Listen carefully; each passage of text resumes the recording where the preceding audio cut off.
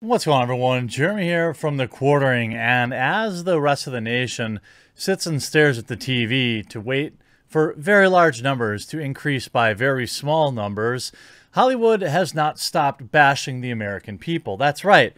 Unless you entirely agree with the mainstream media's narrative as well as Hollywood, then you are a piece of garbage. You are someone to be tutted at, to be looked down upon. In fact, the liberal elite in Hollywood um, view you as garbage.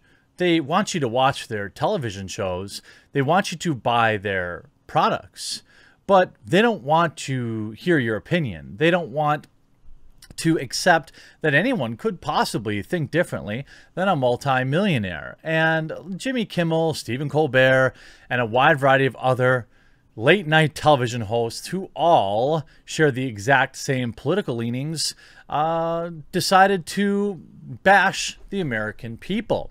Late night television hosts expressed shock. Uh, I feel like I overestimated the American people. Most of the late night TV shows had very had a critical caveat when they delivered their monologues Wednesday night. There's never been a more important time to mention that we taped this show at 5 p.m., but as of taping, the winner of the presidential election has not been determined.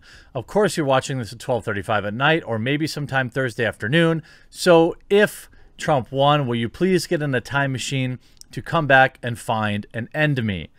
That was a general vibe for the late night comedians who, like much of the rest of the country, spent Wednesday experiencing extreme anxiety as they waited for more results to trickle in from swing states.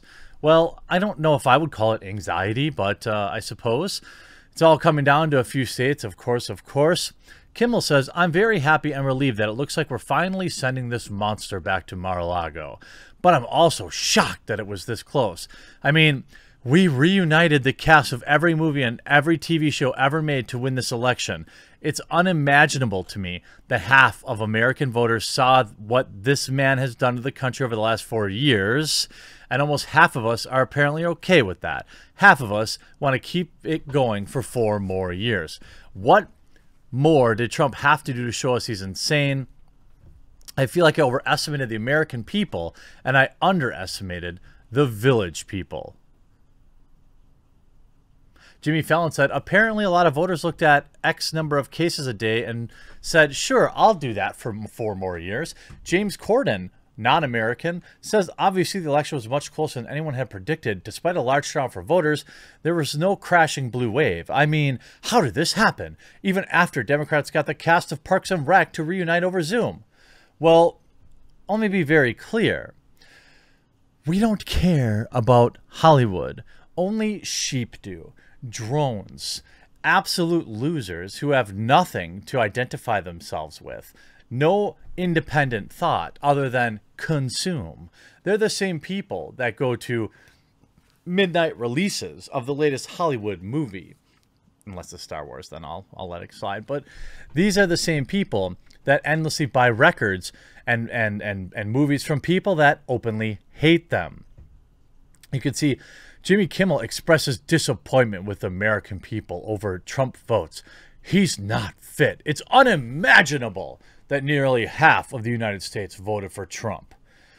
Here's the thing what are these clowns going to talk about for the next four years? A lot of people think, oh, they're just going to go back to the way things were. Except, no, they won't they will cover Trump until deep into 2021 because that's all they have. And they realize without Trump that their ratings will tank. Every single election year, shows like Saturday Night Live get a very obvious boost from ratings during um, this time. And after that, a huge dip. How many people will be tuning in to the boring Trevor Noah. Trevor, Trevor, I immigrated to this country to be a millionaire, but I still hate everything about it. Noah, um, how many people would tune in every night when he's not there to reinforce their TDS?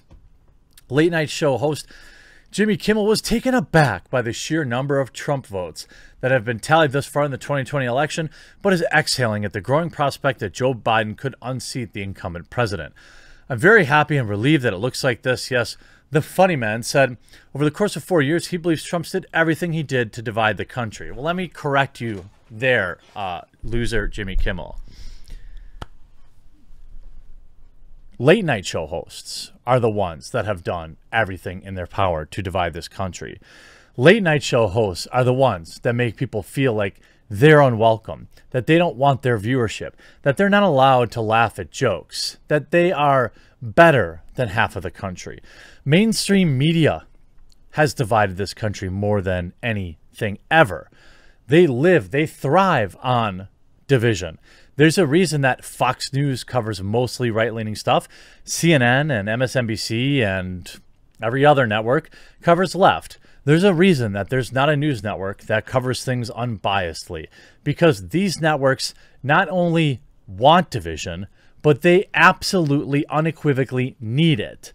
If anything is true, I if anything comes out of this election that could be a silver lining, I hope that more people will wake up to the fact that Hollywood is not your friend. Hollywood sees you as a pawn to vote the way that they want. Hollywood sees you as a wallet to buy their garbage. They don't like you. They never liked you. They wouldn't say hi to you on the street. They wouldn't save you if you were drowning. All right. Hollywood does not care about the average Joe.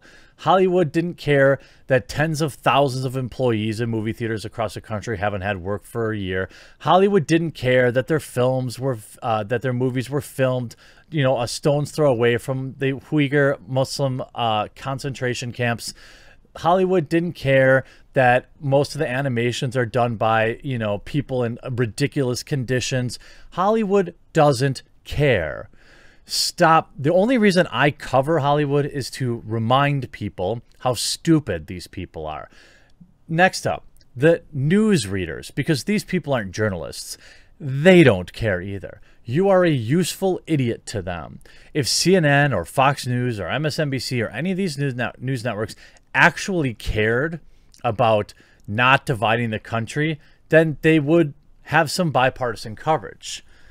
You can't have four straight years of Orange Man bad or Orange Man good and expect me to believe that you really care about bringing this country together. This morning, I saw all these vapid morning show hosts talking about it's a time to heal. It's a no.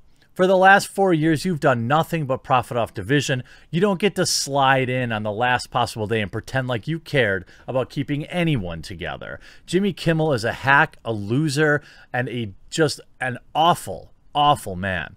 Uh, there's nothing funny about him. He's a hypocrite.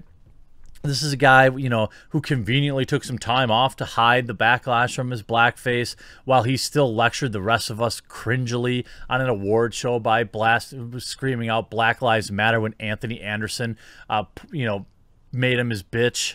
I mean, that's essentially who Jimmy Kimmel is a vapid, uh, positionless worm that works to uh, push the exact same narrative of just about anyone else.